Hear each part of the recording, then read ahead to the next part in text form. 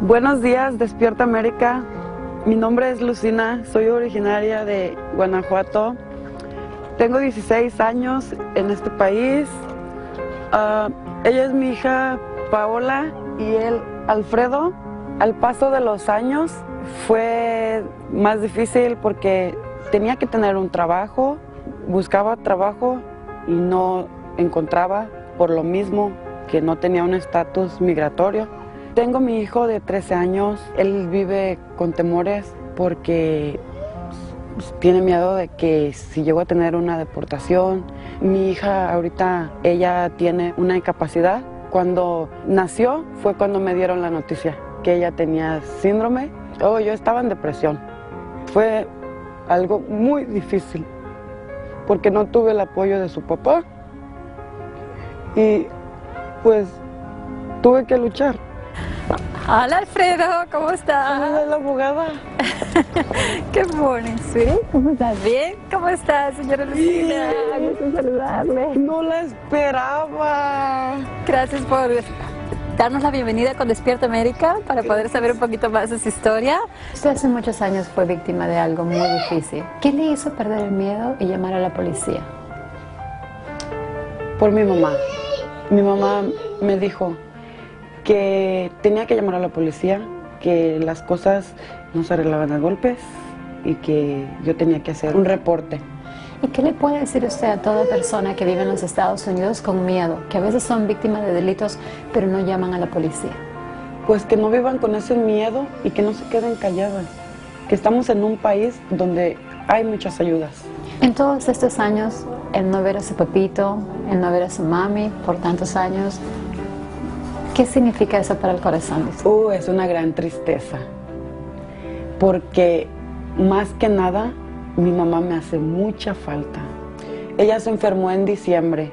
Cuando me dijeron la noticia, se me partió el corazón. Yo decía, ¿cómo es posible que mi mamá esté tirada en, en un hospital? Y que mi papá decía que era algo grave y que a lo mejor no la iba a hacer. En ese momento yo dije, me voy, me voy, pero mis hermanos decían, ¿cómo nos vamos si no tenemos un estatus migratorio? No podemos hacer nada. Quiero en esta mañana, yo sé que usted muy linda nos ha hecho este ponche que ya quiero que se enfríe, pero también vamos a comer pan dulce, ¿no? Sí. ¿Cómo me ayuda a abrir esto de aquí? Creo que hay algo atracado por aquí, ¿no? No, es de abajo. No, aquí. No. No lo puedo creer. Ahora sí voy a poder ver a mis papás y abrazarlos. Tanto tiempo que yo esperaba esto. ¿Cómo se siente ya poder tener esto en sus manos? Feliz. Ya es residente permanente de este país. Gracias, abogada. Sin usted, yo creo que Gracias a Dios. Gracias Y gracias a Dios y a la Virgen de Guadalupe que me ayudó. Y a sus padres que le inculcaron a, creer, a tener fe. Aquí también a este muñeco, ¿verdad? Que ayudas tanto a tu mamita a cuidar a tu hermanita. Oh, y él siempre, cuando él va a las vac- en vacaciones a México y siempre se iba triste en el avión, dice, mamá, dice, un día nos vamos a poder ir todos juntos a México. Alfredo, ¿ya viste tu fe? Mira, tu mamita ya es residente. ¿Qué piensas tú? Pues feliz. ¿Estás feliz? Dale un abrazo a tu mamita, de Y felicidad. ahora sí vamos a poder ir todos a México, ¿ves? A ver a tu abuelita y a tu abuelito y a tus tíos. Sí. Gracias, muchas gracias. Muchachos, que este caso sirva como ejemplo de que sí sabemos que existen momentos muy difíciles para nuestras personas en nuestra comunidad, pero vale la pena luchar, vale la pena ser valiente.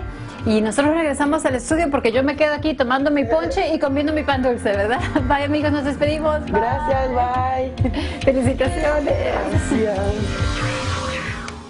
Qué bendición, qué bueno y ojalá que, como decía la, la abogada, pues este caso sirva para mucha gente que nos está viendo. Beso Así para todos ustedes, nuestra gente hermosa.